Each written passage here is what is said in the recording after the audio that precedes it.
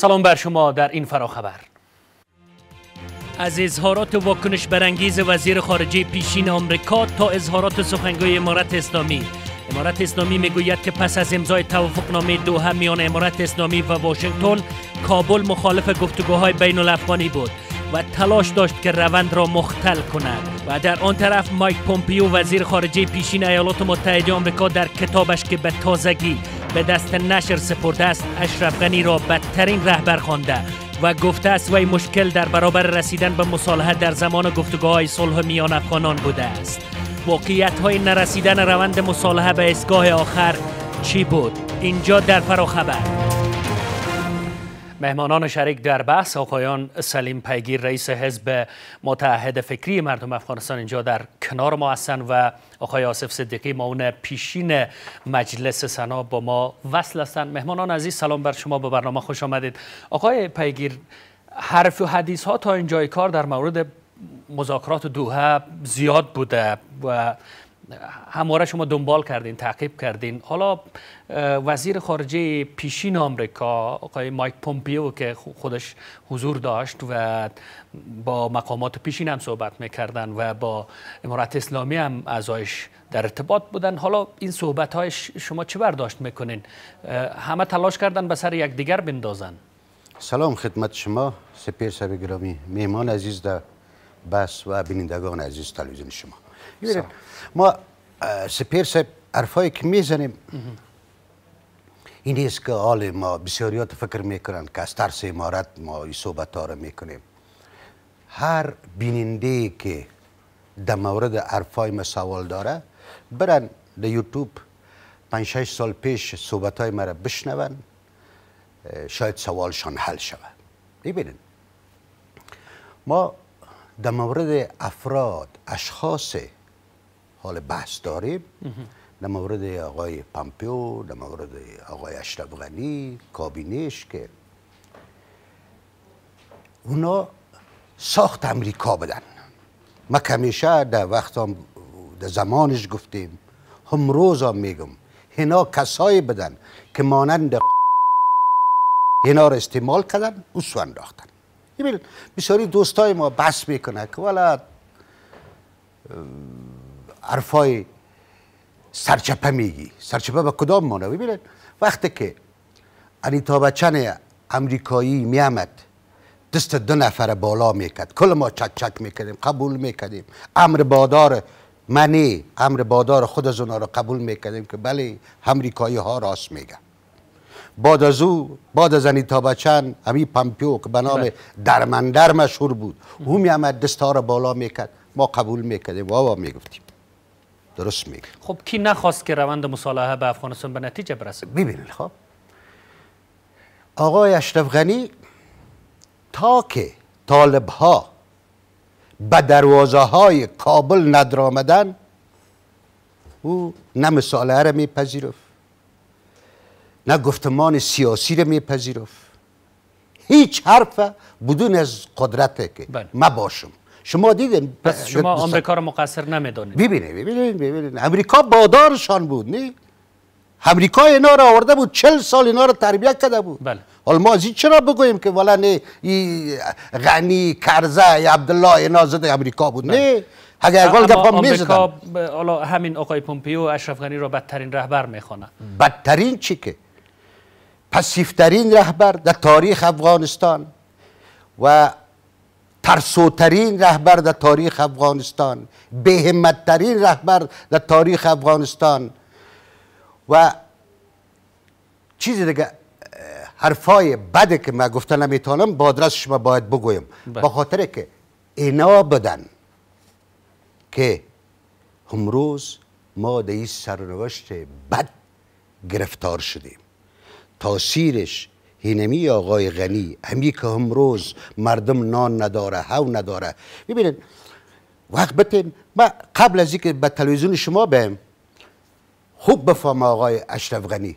ما به آقای استر جنرال محمد افضل لودین مشاور ارشد نظامی خودش و بچه همیش صحبت کد آمدیم و از پیش اجازه گرفتیم مطالب را که پیش ما هست بگویم.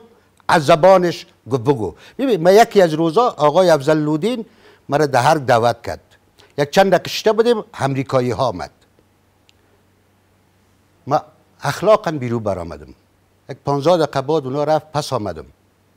وقتی که آمدم پیش از پیش میگم آقای افضل لودین یکی از جنرالای بسیار پاک صادق از وطن بود است امروز هالند است همیالم مرا میشنوه.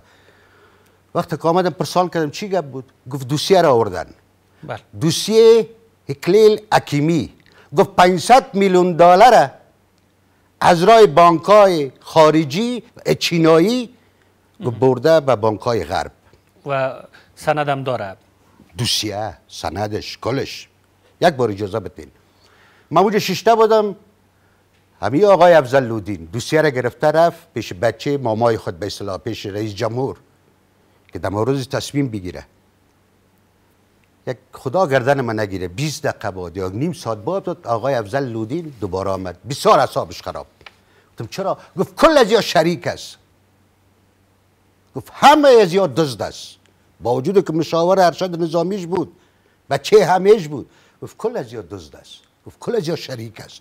به مامدره که من دوسیه را برش میتم میگه در این گپا تو غرض نگیر. ببینید ما درست است که شخصا در طول مبارزات خود ما پول نداشتیم ولی بسیار عرفاس پیش ما. اگر هر کس خواسته باشه مستند همراهش صحبت می‌کنیم.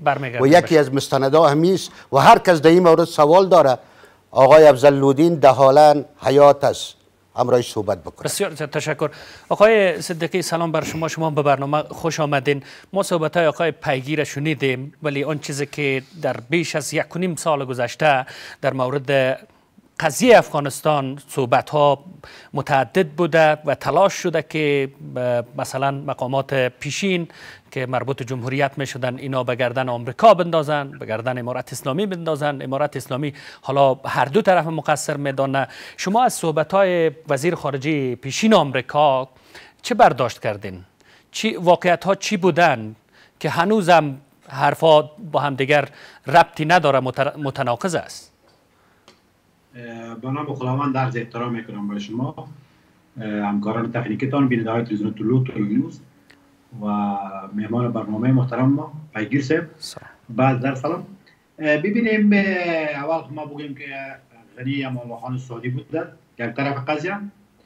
و موضوع اصلی که شما سوال کردین در قسمت پامپیو ما چند موضوعاتی هست البته اشاره به خاطر می‌کنم که ما در رهبری نظام بودم. از تمام قضایت اکثر در قضایت دخیل بودم.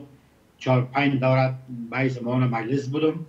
اکثر در تصامیم مهم دخیل بودم. در افغانستان یکی گپای سر چاو کسی گپایی است که ما در اون قضیه بودیم. بین که وقت را بگیم.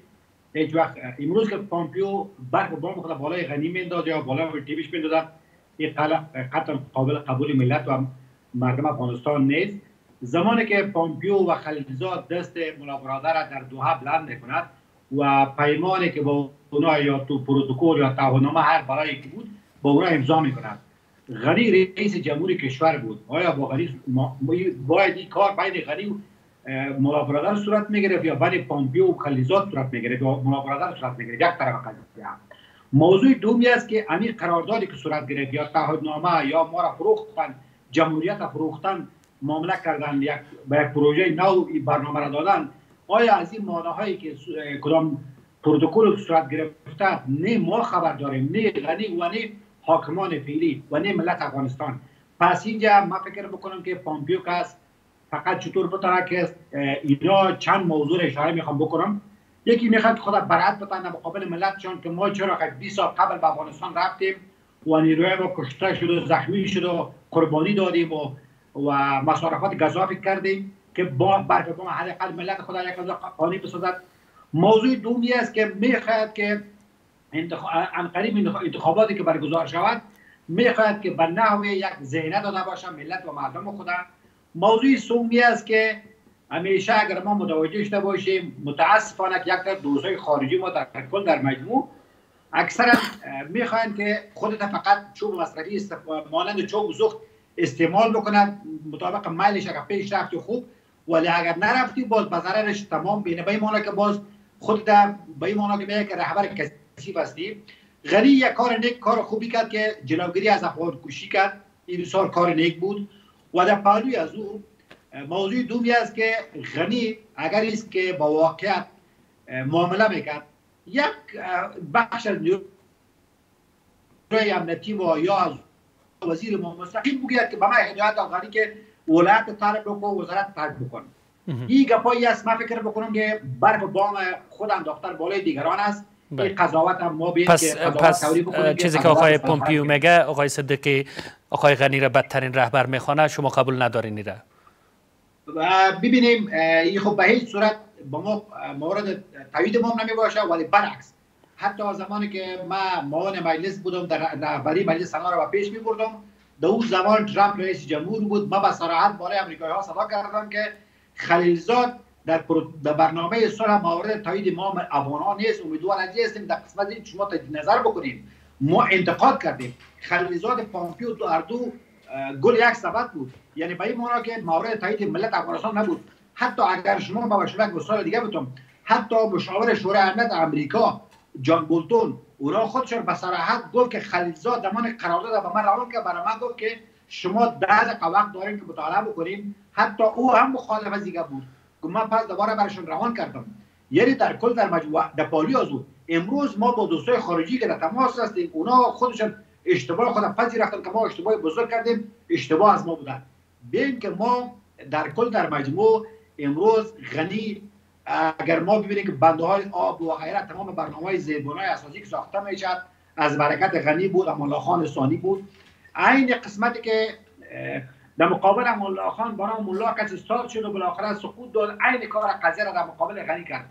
ما به شما بگیم آیا غنی که رئیس جمهوری کشور بود آیا علاقمند بود کشور در اگر علاقمند به پروسه صلح نمی بود انسقانی حکمتیار بیش از پنج هزار طالب رها کردنش و باش نیت در مورد صلح. تا آخرین لحظه کوشش های وجود دارد هم دکتر عبدالله قسمت زحمت کشید هم کرده همیشه طالب برادر خطاب کرد.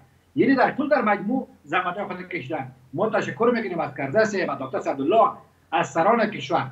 ولی که متاسفانه که چیزایی که مربوط با یعنی به این ما فقط یک ابزار بودیم و همیشه یک وسیله بودیم. حتی اگر شما متوجه شده باشید کرده بارها انتقاد می‌کرد که می‌گفت که ما همیشه گفتیم که ما پیمان امنیتی را در صورت با تو امضا می‌کنم که خودت حداقل از اون طرف خط دولت بالای من عملات صورت نگیره. حداقل پروژه طالب خودت ختم کنی. طالب با ما با وقت بشانی که ما با هم مذاکره بکنیم. در پروسه صلح داخل شود.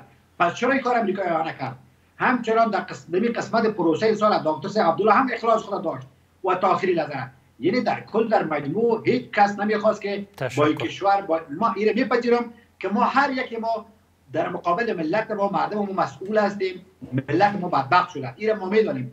ولی مسئولیت اصلی متاسفانه که رئیس جمهور نبوده بلکه پومپیو خلیزاد بود. و اگر است که امروز طالبان سخنگویش که اعدام می‌کنه به این خیلی خودت که در مقابل کافر جهاد می‌کنی خیلی چطور باز پیمان امنیتی رو دو امضا می‌کنی. چطور با پروتکل می‌کنی؟ در, دو سال سه سال چرا بالا از اونها عملات انجام نمیدی؟ چرا با نیروی امنیتی خود انجام میدی؟ و بعد از عفو عمومی امروز چرا مردم ما کشته می‌شد تحقیر می‌شد ترور می‌شد و غیره و گپایی وجود دارد چرا کار به اهل کار سپرده نمی‌شد چرا آزادی بیان نیست؟ چرا خلاف اسلام عمل می‌کنیم؟ چرا ما مال تعلیم طبقه اوناس میشیم؟ چرا ما امروز کسانی که در دولت قبلی بودن تحقیر می‌کنیم؟ وظایف شما گرفتیم چرا امروز ملت ما احساس تنگی می‌کنه در کشورش؟ این مسائلی است که در کجور متاسفانه که اعمال ما قطعا مطابق اسلام نیست حالت فیلی. بسیار زیاد تشکر آقای صدیقی به شما برمیگردم. آقای پیگیر صحبت های آقای صدیقی را شنیدین که روایتی که شما مطرح کردین یک چیز دیگه است. روایتی که آقای صدیقی مطرح می‌کنه برخلاف صحبت های شماست که میگن آمریکایی تلاش می‌کنن برف, را برف بام خود را به خانه اشرف غنی بندازه. دیگه بحث این را مطرح کردن که ما را فروختن.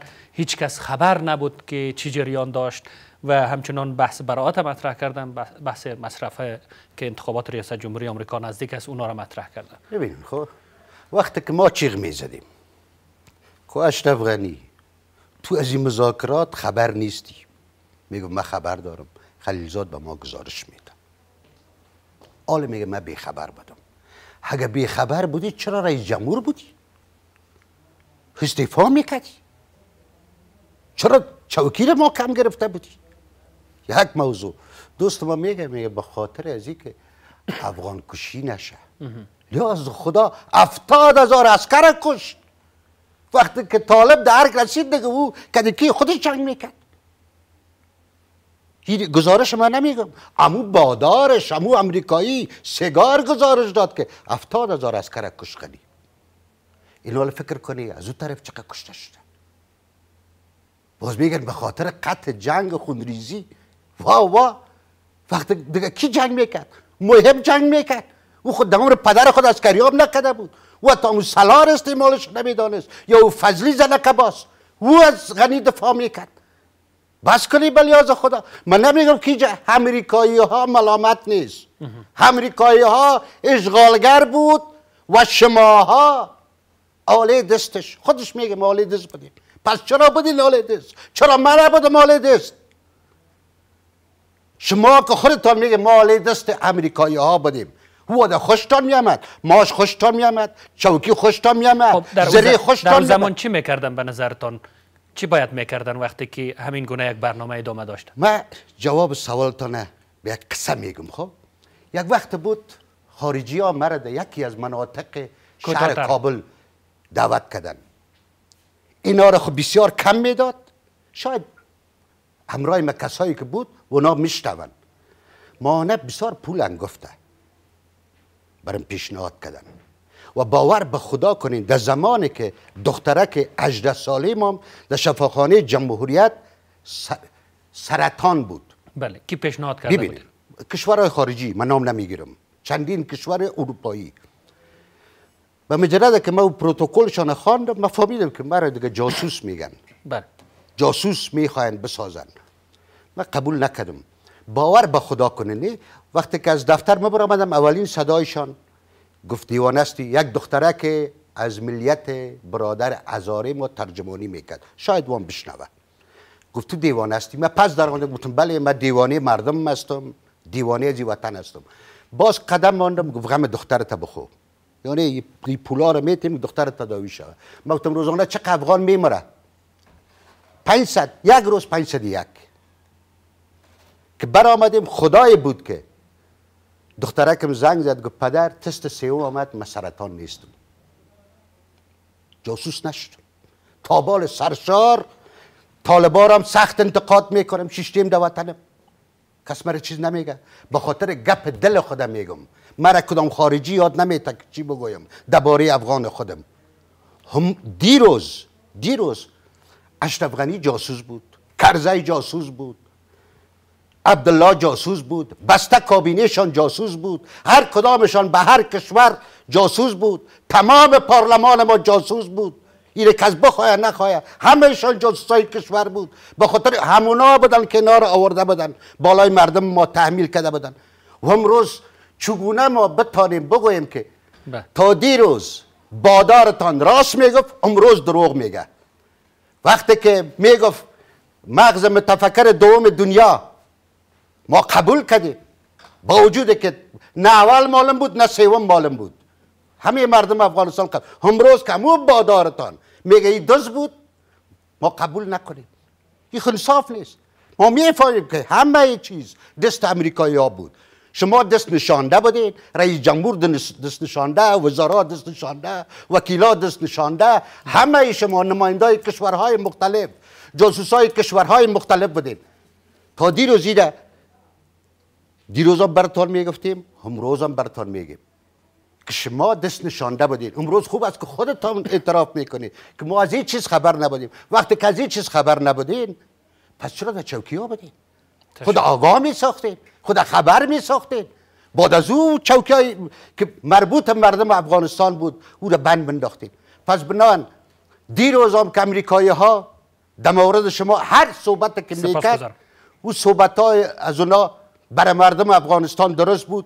و هم روز هم هرچی که در موردتان میگه درست است. بسیار زیاد تشکر. آقای صدیقی بفرمایید صحبت های شما را بشنویم. ببینیم تمام مسائل بین که ما درست از کل ما در داریم مشکلات است رنج است ملت ما هر چیزی که ملت ما بگید امروز بدیده باید گوره قبول بکنیم به خاطر که ملت ما در بدترین حالت قرار دارند. امروز علای امروز قیامت است از برکت حاکمان فعلی کشور که تا دیروز اینا در مقابل امریکایی ها جهاد ایران می‌کردن. امروز دست دوستی میتن امروز هفته هفته 40 میلیون دلار به اینا میان و پالی از او سخت علاقمند به ای است که امریکایی ها اونا را به رسمیت بشناسند. تا دیر در تاپا می‌دادن فتوا می‌دادن که اینا اجنتای کشورهای بیگانه هستند. امروز خودشان امریکایی ها خارجا پیش ما میدوید. امروز اینا پشت امریکایی می‌دوند. تفاوت ما را که ما چقدر تفاوت که ما ظرفیت داشتیم ما استعداد داشتیم ما مدیریت داشتیم. امروز در نظام فعلی رو که چند نفر کادر واقعی داریم ما. ولی در نظام قبلی همیشان کادرای کشور بودن. همیشان کسانی بودن که واقعا دلسوز به کشور بودن. وقت و در پاریوز در قسمت اکلیل حکیمی که رو اشاره شد اکلیل حکیمی یک وزیر ما دوست بود میشناسمش یک از وزیرای خیلی برجسته کشور بود اعضای کابینه. این توجیهی که گفتن بیش از 5 میلیون 500 میلیون دلار قطعا واقعیت ندارد و ما در رهبری نظام بودم و دوست ما که نام گرفت اونا شاید قسمتک بسیار مردم ما به کل احترام داریم. ولی بین که پشت از گپا نگردیم که احمد چیکار محمود چیکار هر کدام ما در مقابل کشور مسئول هستیم. هر فرد از کشور. این بیمانان نیست که تنها ما مقصر یک نفر بدانیم. هر کس پیش خود فکر بکنه که ما به خاطر کشور خود چه چی کار کردم؟ آیا یک نهال حدس کردم؟ آیا یک سنگ در جای هفتی به خاطر کشور خود او را در جای منظم ماندم گذاشتم یا یک کس را نصیحت کردم به خاطر حب الوطن. نخیر این پالی از او ما که بیش سالانه ما البته در ما فکر بکنم که اشتباه شده باشه دوست ما که شرکت ما سالانه بیش از 45 هزار نیروی امنیتی ما را قربانی داشتیم. این قربانی را ببینید و زمانی که امریکایی ها خود در افغانستان با و تروریست که در افغانستان آمدی و نیروی امنیتی را تجهیز کردی در مقابل طالب جنگاندی شو طرف طالب کشته شد این طرف افغانا کشته شد. پس به این که مسئول اصلی کی بوده؟ با دو طرفت افغانا کشته شد. ما چوب و بودیم. پس به این که برف بابا با کی بالا کی میندازد ما خوب بیاد دارم که ما در, در زمانی که معاون مجلس بودم در هیئت رهبری در شورای امنیت حتما صاحب جلسه داشت هر بخش نوری امنیتی مسئولین خواسته بود. حتما صاحب یک کادر کادر ورزیده کشور است که افتخار همین ماست. ببینیم و زمانی که ما در ما قسمت مسائل نوری امنیتی ما به خاطر که به تقاوز ساق داده شده ساق داده شوند بعد صورت گرفت. ما هم استدلال کردیم. ولی او به ما گفت که خارجی ها برای ما خط سال گفتن اگر قانون ذاتی اسرارش ما تایید نکنیم امریکایی ها ماش و تیل برای ما قطع می‌کنن. و در یعنی در کل در مجموع ببینیم که ما هر کدام ما مسئول بودیم و هستیم می باشیم بین که ما کل ما هر کدام ما باید که مسئول وزیر باشیم بسیار زیاد تشکر. آقای پیگیر خیلی وقت ما کم مانده. اگر جنبندی بکنید بیشتر از یک دقیقه بفرمایید چی است؟ ببینید خب میگه ما کدرای بسیار ورزیده بودیم. شما من نماینده امارت اسلامی نیستم یک و نیم سال است. ولی تمام بدبختی های مردم افغانستان شما کدرای ورزیده بودید حتما میگه کدر ورزیده بود. واه واه چه خوب کدر ورزیده بود. در دوزی کلتان کدرای ورزیده بدین آزرده نشین. کلتان همه در فساد در دوزی در زنکبازی بازی کل کدرای ورزیده ازی وطن بدین اگر شما اگر شما یک روزم به نیت صاف برای مردم افغانستان کار می‌کردی حال شاید ما در این وضعیت بد نمی بدیم که نکدیم امروز شما خدا کدرای ورزیده درست است. کلتان با دیپلمای ساختگی از کشورهای خارج آمدین که امو وزیر وزیر تحصیلات عالی با دیپلم ساختگی برآمد. پس شما چوگونه کدر بدین. اگه شما خوب قدر می بدون ما در وضعیت نبودیم. و امی که میگه امریکایی ها در مورد ما تصمیم می‌گرفت نه؟ همو امریکایی ها اگر به من گپ خود شما. شما را شناخت که دیگه شما همو حرف تشکر آقای پیگیر و آقای صدیقی از حضورتان در برنامه. به همین ترتیب می‌رسیم به پایان فراخبر. از شما بینندگان عزیز هم سپاسگزارم. شب بخیر.